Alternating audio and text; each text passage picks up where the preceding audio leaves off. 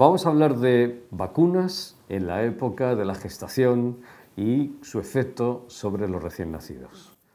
Soy el doctor Manuel Sánchez Luna, jefe del Servicio de Neonatología del Hospital General Universitario Gregorio Marañón. Bien, si algo ha hecho que mejore la salud pública a nivel mundial ha sido la vacunación de la población.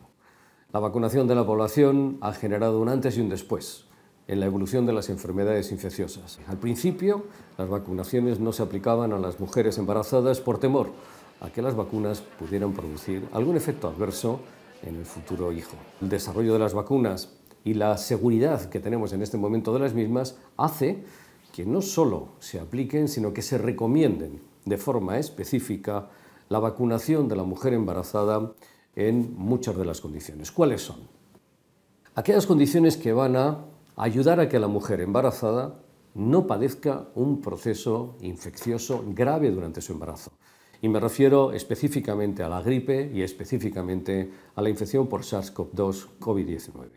Bien, estas dos entidades en este momento sabemos que pueden provocar cuadros graves de insuficiencia respiratoria, cuadros graves de afectación general si una mujer embarazada se infecta tanto por la gripe como por el SARS-CoV-2. Hoy tenemos seguridad, además, para que estas dos vacunas se puedan administrar en cualquier momento del embarazo a las mujeres cuando vayan a entrar en época epidémica, como es el caso de la gripe, o en cualquier momento, como es en el caso de la pandemia por COVID-19. Aún más, la vacunación de la gripe es prioritaria en las mujeres que vayan a quedarse embarazadas o que ya estén embarazadas. Y lo mismo ocurre con COVID-19. La vacunación, sobre todo las nuevas vacunas mRNA, han demostrado la eficacia para proteger a la madre, de tal manera que las mujeres embarazadas que están vacunadas, los cuadros de infección por COVID son más leves que si no los tuvieran. De una manera significativa se reduce la morbilidad y la mortalidad. Pero además, hay un grupo de vacunas que son fundamentales administrar para proteger al futuro recién nacido. Bien, estamos hablando de tosferina y estamos hablando, de nuevo, de COVID y de gripe. La tosferina es una enfermedad que puede causar problemas muy graves en el lactante pequeño, sobre todo en los dos primeros meses de edad, antes del momento en que se genera anticuerpos por la vacunación de los lactantes pequeños. Estas infecciones son tan graves que pueden provocar problemas respiratorios y en algunos casos septicemias y fallecimiento del bebé cuando se infecta en estos primeros dos meses. Hoy sabemos que la vacunación de la madre en el tercer trimestre de la gestación, normalmente entre la semana 27 y 36, 36-37, con la vacuna de la tosferina unida a la difteria y el tétanos porque aumentan la producción de anticuerpos, va a reducir de forma drástica el riesgo de que el recién nacido en los primeros dos meses, tres meses de edad, cuando todavía no ha recibido la primera dosis de su vacuna, esté protegido frente a la tosferina.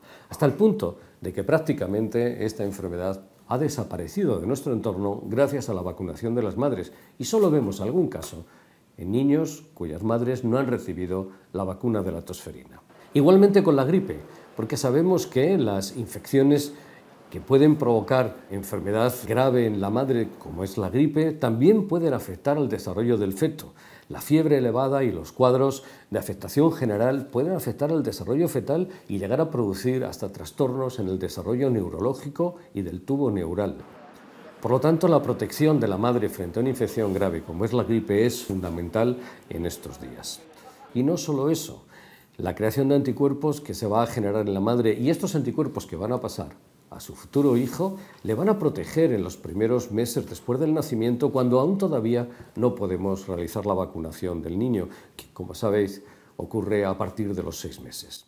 Por lo tanto, la vacunación de la madre protege a la madre y protege al feto de desarrollar problemas graves si la madre se infecta y protege también a su recién nacido. Y lo mismo ocurre con la vacuna del COVID-19.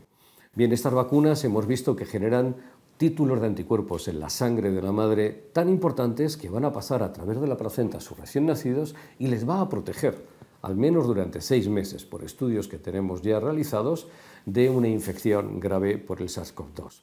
Y también van a pasar estos anticuerpos a través de la lactancia materna. En resumen, la vacunación hoy es algo que claramente ha modificado la evolución en la salud pública a nivel mundial. La vacunación de la madre, la gestante, durante el embarazo es segura y debe de realizarse muy especialmente para prevenir tosferina, para prevenir gripe y COVID. Estas vacunas son seguras tanto para la madre como para el bebé y son seguras en cualquier momento del embarazo.